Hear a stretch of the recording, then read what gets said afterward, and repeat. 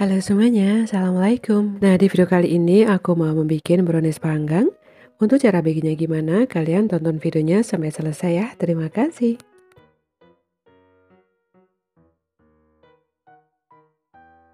Pertama-tama kita mendidihkan air di teflon seperti ini. Selanjutnya kita akan melelehkan 70 gram di sisi, kita tambahkan dengan 100 ml minyak goreng. Supaya mudah larut, di sisinya kita sisir terlebih dahulu ya teman-teman. Nah, setelah coklatnya larut seperti ini, kita matikan api kompornya. Kita angkat lalu kita sisihkan terlebih dahulu. Kita tunggu dingin baru bisa digunakan ya. Lanjut, di sini kita siapkan wadah, lalu masukkan 4 butir telur suhu ruang, tambahkan setengah sendok teh vanili bubuk, 150 gram gula pasir, 1 sendok teh SP, Kemudian ini akan kita mixer menggunakan kecepatan paling maksimal. Di mixer sampai dia putih, kental, dan berjejak. Biasanya aku sambil memixer ini juga sambil memanaskan ovennya ya teman-teman. Supaya nanti begitu adonannya siap, ovennya juga sudah panas.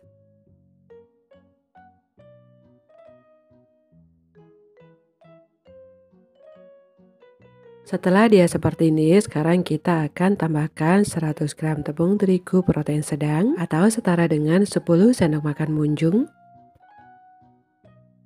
Lalu kita juga menambahkan 20 gram uh, coklat bubuk dan seperempat sendok teh baking powder.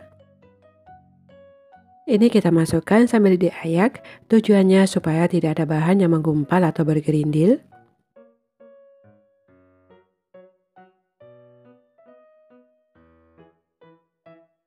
Kemudian kita mixer menggunakan kecepatan rendah.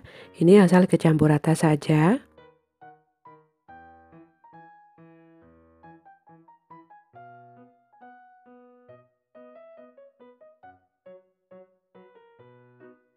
Selanjutnya kita masukkan di sisi yang sudah kita lelehkan tadi. Ini sudah dalam keadaan dingin ya teman-teman.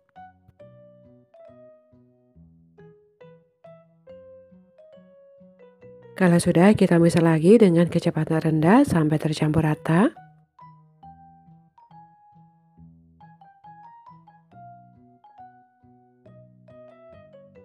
Aduk lagi menggunakan spatula, pastikan seluruh bahan sudah benar-benar tercampur rata.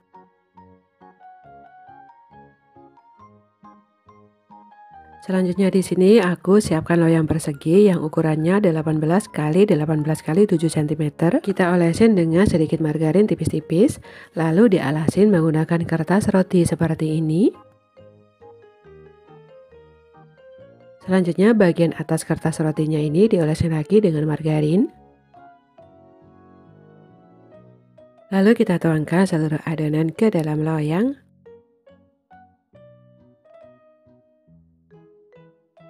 Gunakan tusuk sate untuk meratakannya. Boleh juga dihentak-hentakan seperti ini. Tujuannya supaya udara yang terperangkap di dalam dia bisa pecah dan keluar. Dan di sini tadi aku sudah memanaskan oven tangkring selama 10 menit. Dan kalau misalkan kalian menggunakan oven listrik, juga harus dipanaskan terlebih dahulu ya. Selanjutnya akan kita panggang menggunakan api sedang cenderung agak kecil, kurang lebih selama 40 menit. Dan kalau misalkan kalian menggunakan oven listrik, panggang di suhu 175 derajat Celcius. Gunakan api atas bawah selama kurang lebih 40 menit atau bisa disesuaikan dengan oven masing-masing. Untuk mengetes kematangannya, tusuk seperti ini. Kalau sudah tidak ada yang menempel berarti sudah matang, boleh diangkat.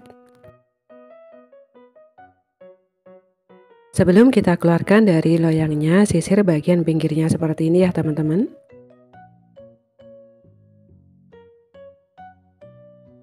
Setelah itu kita keluarkan dari loyangnya.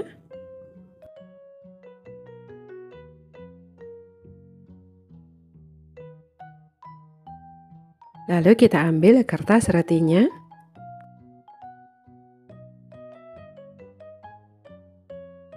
Selanjutnya ini boleh dikasih topping bebas ya teman-teman. Kalau untuk aku di sini mau aku olesin menggunakan buttercream, jadi aku tunggu browniesnya dingin terlebih dahulu. Tapi kalau misalkan mau diolesin menggunakan selai, tidak usah nunggu dingin ya teman-teman, langsung dioles saja boleh.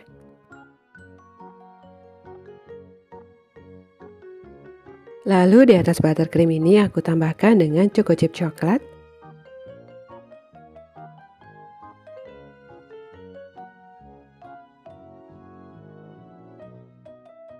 Dan tada, ini dia brownies coklat panggang kita sudah jadi ya teman-teman. Hasilnya sangat cantik banget. Tapi mohon maaf, brownies ini tidak bisa aku potong.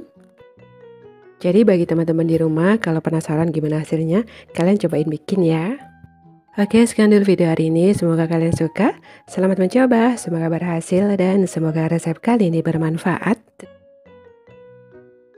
Di video kali ini aku mau membuat bolu panggang pandan. Ini satu resep bisa jadi dua loyang sekaligus ya teman-teman.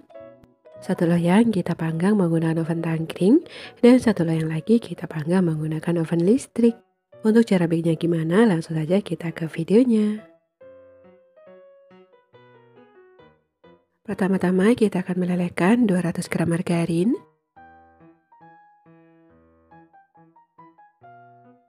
Dan setelah dia mencair, kita sisihkan, kita dinginkan terlebih dahulu.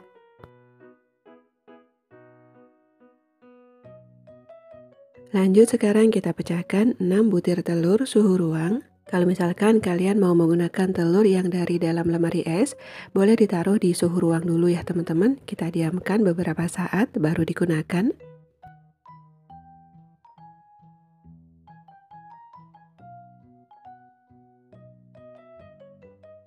Kemudian kita masukkan 300 gram gula pasir dan sedikit vanili cair. Kemudian tambahkan juga setengah sendok teh garam dan 2 sendok teh SP.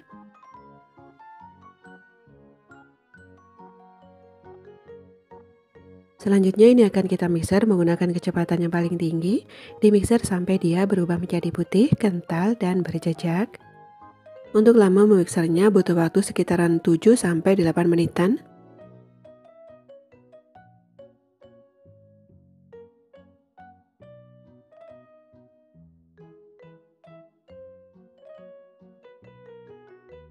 Nah setelah dia seperti ini, sudah putih, kental, dan berjejak, sekarang matikan dulu mixernya.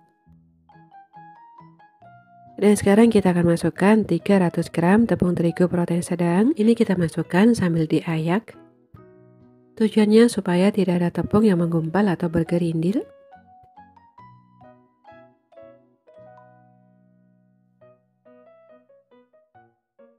Kemudian kita masukkan 100 ml santan.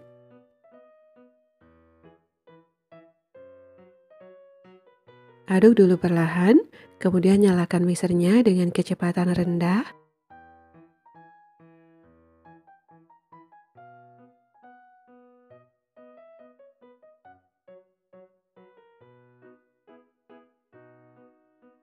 Kemudian kita masukkan 200 gram margarin yang sudah kita cairkan tadi.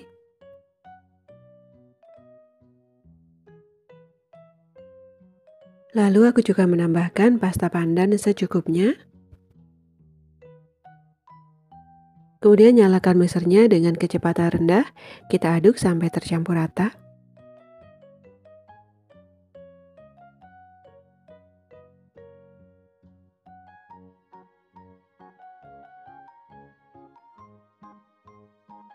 Kemudian boleh diaduk lagi menggunakan spatula, pastikan seluruh bahan sudah tercampur rata. Pastikan jangan ada margarin yang masih mengendap di dasar adonan, karena itu yang bisa menyebabkan bolu kita jadi bantat. Oke untuk loyangnya di sini aku menggunakan loyang tulban diameternya 20 cm. Dioles menggunakan margarin tipis-tipis lalu ditaburin dengan tepung terigu. Kemudian tuangkan adonan ke dalam loyang, dikira-kira ya teman-teman, uh, jumlahnya sama banyaknya.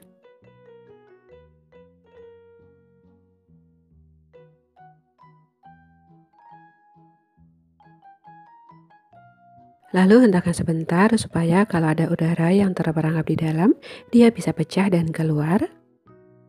Kemudian di atasnya ini aku taburin dengan meses coklat. Dan untuk uh, ovennya sudah kita panaskan terlebih dahulu ya teman-teman. Untuk oven listriknya sudah kita panaskan 10 menit sebelum digunakan. Dan juga panci serbagunanya juga sama, sudah aku panaskan terlebih dahulu. Untuk yang satu loyang aku panggang menggunakan panci serbaguna selama kurang lebih 40 menit. Kita gunakan api sedang cenderung agak kecil. Dan satu loyang lagi aku panggang menggunakan oven listrik di suhu 175 derajat celcius. Gunakan api atas bawah selama kurang lebih 40 menit. Dan setelah matang, sekarang kita angkat.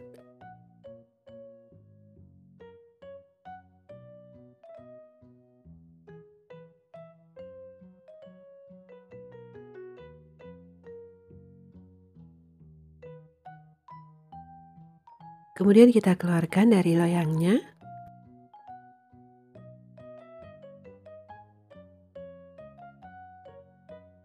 Dan ini dia bolu panggang pandan kita sudah jadi ya teman-teman.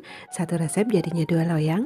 Ini hasilnya super cantik banget dan pastinya juga super lembut. Tapi bolu ini tidak akan aku potong ya teman-teman. Karena akan aku kasihkan ke saudara.